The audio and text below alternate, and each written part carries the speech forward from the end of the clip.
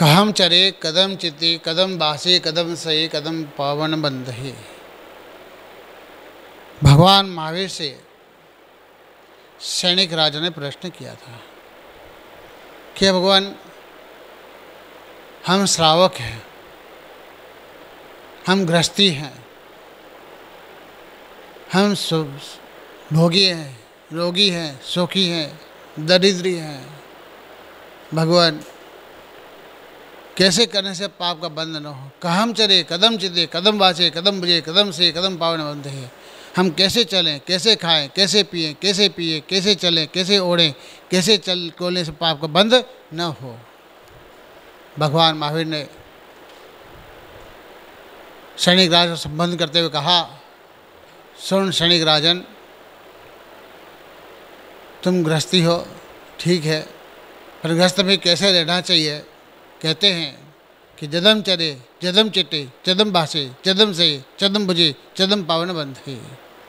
माने यत्नपूर्वक चलो यत्नपूर्वक खाओ, यत्न बोलो यत्नपूर्वक सो यत्न बोलने से पाप का बंध न होगा। यत्नपूर्वक में क्या? प्रमाद रहित क्रिया। प्रमाद रहित क्रिया। प्रमाद उमा स्वामी ने तत्व कहा है प्रमद योगा प्राण विवरण हिंसा। मन, वचन, काय की क्रिया, प्रमाद सहित है। तो वहाँ हिंसा है। जहाँ हिंसा है, वहाँ पाप है। इसलिए पंद्रह प्रमाद त्याग करना। प्रमाद सहित होता है। पंद्रह प्रमाद कौन सा है? पाँच इंद्रिय भोग। स्पर्शन, रचना, घ्राण, चक्षु, कर्ण। पाँच इंद्रिय है। ये पाँच इंद्रिय में स्पर्शन का आठ विषय है। हल्का भारी कड़ा नरम रूखा चीना ठंडा गर्म ये स्पर्शन का आठ विषय है। रचना का पाँच है। खट्टा, मीठा चरबरा कसाला, कड़वा। ग्रहण का दो है। सुगंध और दुर्गंध। चक्षु का पाँच है। हरा, नीला, पीला, काला, सफ़ेद, ये पाँच वर्ण है। चक्षु इंद्रिय का सूर्य है। कितना हो गया? बीस हो गया। और कर्ण का कितना है? सात है। सात कौन सा है? सरी प नी ये सात स्वर हो। ये सात स्वर भी कर्ण का विषय है। कितना हो गया? सत्ताईस। इन सत्ताईस विषय में तुमको ले जाने वाला कौन है हेडमास्टर तुम्हारा? तुमको ले जाने को ले तुमको यहाँ कौन लाया? हम्म? तो तुम्हारा हेडमास्टर कौन है? मन है। मन को मिला तो कितना हो गया? सत्ताईस, अट्ठाईस। ये अट्ठाईस विषय जब तक तुम्हारा त्याग नहीं है, तब तक तुम प्रमा प्रमा से बच नहीं सकते हो। चार कसाय क्रोध, मान, माया, लोभ। और चार विकता, स्त्रीकता, देशकता, राष्ट्रकता भोजन कथा ये चार विकता हैं, ये चार विकता से बचोगे। और स्नेह निद्रा, नींद नहीं करना, स्नेह मन राग नहीं करना, अरे राग तो करते हो भैया, बिना राग के थोड़ी आए हो, मंदिर में तुम राग कर रहे हो, कैसा राग? अप्रशस्त राग से पाप का बंद होगा। कौन सा अप्रशस्त राग?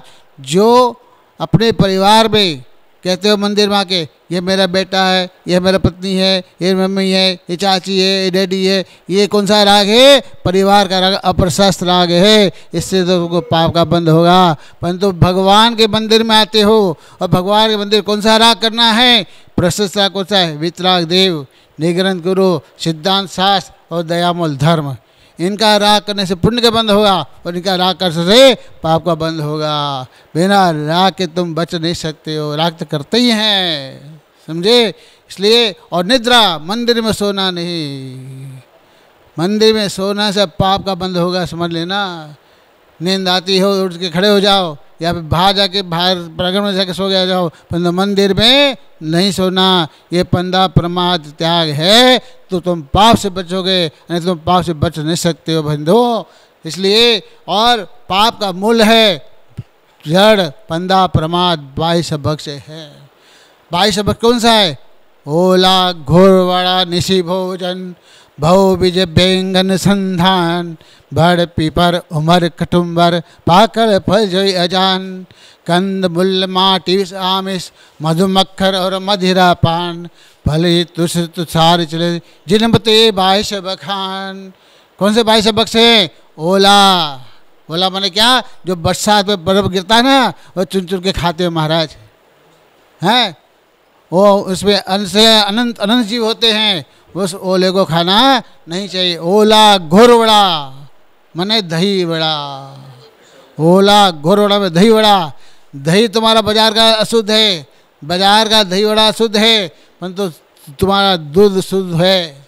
पानी को कपड़े से साफ़, बर्तन को साफ़ पोछ करके, माजन के साफ़ करके, फिर बर्तन में अपने गिलास में पानी से पानी लेके गए, उससे थन धोया हुआ और कपड़े से पोछा। उसके बाद जो दो धोगे, वो दूध धोला करके आप तुरंत छाना हो, तब तो उसकी मर्यादा चौबीस घंटे गर्म करने चौबीस घंटे मर्यादा हो जाती है।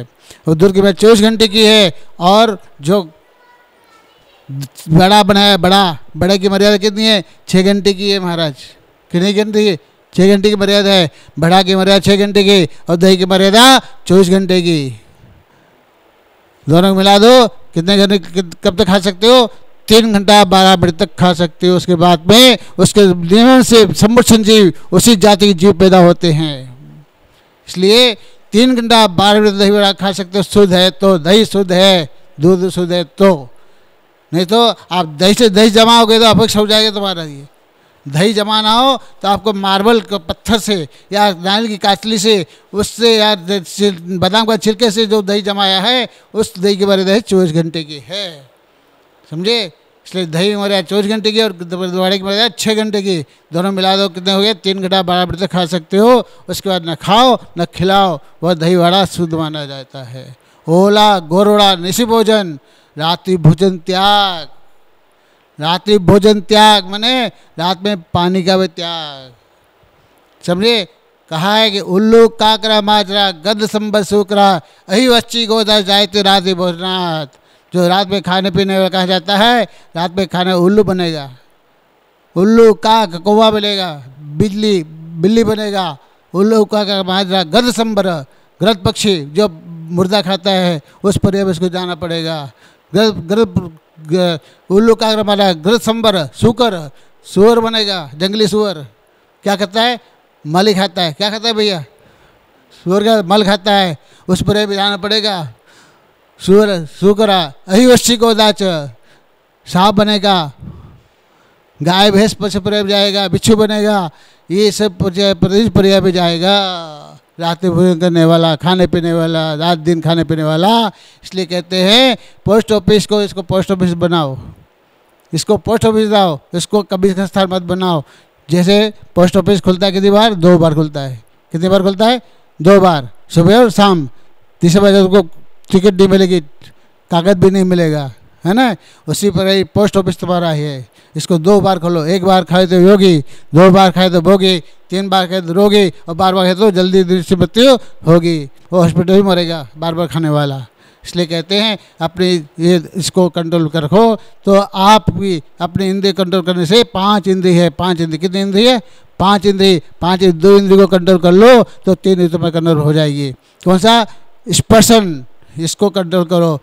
चाहे जो मत खिलाओ। पुलिस अपने पोस्ट ऑफ़िस में डब्बा जाता है, डब्बा, उसमें क्या डालते हो? चिट्ठी डालते हो। क्या डालते? चिट्ठी डालते हो। कचरा गोटा डालते हो उसमें? है? परंतु इसको क्या बनाया है? कब्रिस्तान। जो चाह, बख्श बख्श, कोई ख्याल नहीं है, इसलिए घर घर भी बीमार है। खाने को अक्ल है तो रोग नहीं और बोलने का तो झगड़ा नहीं। इस प्रकार से बताया और ओला घोर और निश भोजन भो बीज व्यंगन संदान भो बीज में टमाटर है, लौकी है, ककड़ी है, हैं, अमरूद है, पपीता है, इसमें बहु बीज परंतु दो भाग करो उसको बीच में धार है वो अभक्ष नहीं है, उसको खा सकते हो। जिसमें धार नहीं है वो अभक्ष है, उसको खाना नहीं चाहिए। वो अभक्ष में आता है है ना? ओला, घोड़ा जिसमें बहुबीज बैंगन जैसे दृष्टांत है बैंगन बैंगन दो भाग करो, बीच में लाइन नहीं है, पूरा बीज भरा रहता है।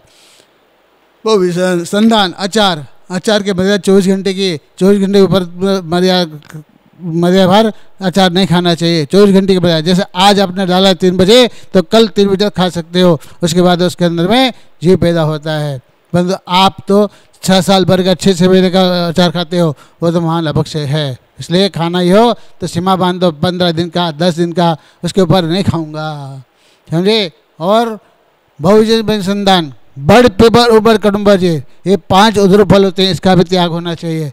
और अजान फल जिस फल को तुम जानते नहीं हो जैसे ये ये आ, ये फल यहाँ यहाँ मिलता है और ये वहाँ उधर नहीं मिलता है हैं? जब तक तो उसका पता नहीं है तब उसको नहीं खाना चाहिए। अजान फल समझे? कंदमूल माटिस ज़मीन कंद आलू मूली गाजर शकर प्याज लहसुन अदरक बदरक ये सब ज़मीन कंद है। उसको भी नहीं खाना चाहिए। ओला कंदमूल, माटी, बस लोग मिट्टी खाते हैं। मिट्टी बक्स है, समझे? और माटी, विष, कहीं घर में झगड़ा हो गया तो घर के जहर पी लेंगे हैं? यह भी अभक्ष है माटी, विष, आमिष मन मांस, मधु, मन शहद, मक्खन, माने लोनी। लोनी के निकाल तुरंत ही खा लो। उसको इकट्ठा मत रखो। और मधुमक्खन मदिरा पान शराब का त्याग और फल ऋतुष जो छोटे से फल जिसमें जैसे छोटी केरियाँ हैं, छोटे केला हैं, उसको तोड़ के कच्चा फल को नहीं खाना चाहिए, उसमें भी जीव होते हैं। हैं? फल तुषार, बर्फ़। बाज़ार का बर्फ़ तो अवक्ष ही है बाज़ार का बर्फ़ तो अवक्ष है। परंतु आपको बर्फ़ खाना ही है तो पानी को छान दो। छानने के बाद में उसको तीन उबाल लो पानी को। तीन उबालने के बाद में उसको छान, ठंडा करके, उसके बाद में उसको फ्रिज में रखो। तो उसके जो बर्फ़ जमेगा उसके मर्यादा चौबीस घंटे की है। इस प्रकार और चलित रस जिसका स्वाद बिगड़ गया है, जैसे तेल है, घी है, हैं, इसका कितनी मर्यादा है? जब तक स्वाद है तब तक। उसके बाद में स्वाद बिगड़ा तो अभक्ष हो गया। जिस प्रकार से जिन बाईस बाईस अभक्ष होते हैं, ये पाप की मूल झड़े, इस पाप से बचने के लिए आपको बताया है कि पाँच पाप है। इससे बचो। और बाईस अभक्ष और पंद्रह प्रमाद का त्याग करो और अपने जीवन में जीवन बंद रूप से धर्म का धारण करो, क्योंकि जैन धर्म कहते हैं व्रत, पाँच अनुव्रत होते हैं। तीन गुणवत चार शिक्षावत श्रावक के बारह व्रत होते हैं। है टाइम है? श्रावक के बारह व्रत होते हैं। श्रावक किसको कहते हैं? श्रावक, श्रवण, श्रद्धावान।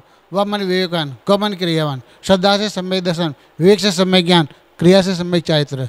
श्रद्धा सम्यक दर्शन सम्यक दर्शन कैसे होता है? भक्ति से। भक्ति करो, भगवान भक्ति करते हो। अंतरंग भक्ति है तो सम्यक दर्शन होगा। और भाई भक्ति है तो सम्यक दर्शन नहीं होगा। समझे? और भक्ति युक्ति। युक्ति माने शास्त्र पढ़ते हो, ज्ञान ज्ञान नहीं है। पढ़ते जा रहे हो। पर ज्ञान नहीं हो रहा है। उसके लिए शक्ति भक्ति, युक्ति सम्य ज्ञान। और शक्ति, कोई व्रत, नियम पालन करना तो शक्ति चाहिए। बिना शक्ति व्रत का पालन नहीं कर सकते हो। इस प्रकार से ये भक्ति, युक्ति, शक्ति तीनों मिल गई मुक्ति। जैसे अकेले हरड़ को त्रिपुरा नहीं कहते हैं, हरड़ भेड़ा को त्रिपुरा नहीं कहते हैं, हरड़ भेड़ा आंवला भेड़ा तो त्रिपुला कहते हैं, पर हरड़ भेड़ा आंवला तीरों में लगे तो उसको त्रिपुला कहते हैं। उसी प्रकार सम्यक दर्शन, सम्यक ज्ञान, सम्यक चैत्रों है तो मुक्ति का मार्ग है। इसलिए कहते हैं ये श्रावक तीन प्रकार के हैं। कितने प्रकार के? पाक्षिक और नैष्टिक और साधक। पाक्षिक माने जो जिन्हें भगवान के पक्ष में पाक्षिक श्रावक है। भगवान महावीर ने क्या उपदेश है जियो और जिन्हें दो। जियो और जिन्हें दो। ये उपदेश दिया। समझे? उस हिंसा के जो पालन जो उपदेश आचरण करता है, जो उसका पालन करता है, उसके उपदेश कर चलता है, वह श्रावक, पाक्षिक श्रावक कहलाता है। और पाक्षिक श्रावक तीन प्रकार के उत्तम पाक्षिक, मध्यम पाक्षिक जगन पाक्षिक।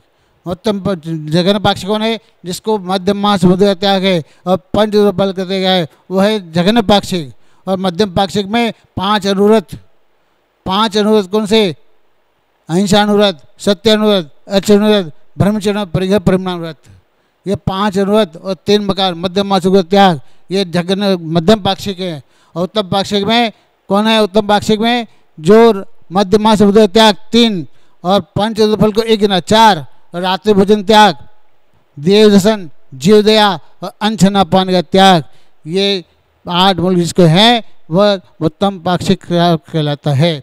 इसे उत्तम पाक्षिक हम प्लास्टिक में जो प्रतिमा प्रतिमाधारी है, पहली छठी तक जगन पाक्षिक और छठी से दस तक मध्यम पाक्षिक और ग्यारहवीं प्रतिमाधारी उत्तम पाक्षिक कहलाता है, जैसे चुल्लक एलक छुल्लिका, ये उत्तम पाक्षिक में कहलाते हैं नष्टिक है। इस प्रकार से इस सावक धर्म का पालन किया।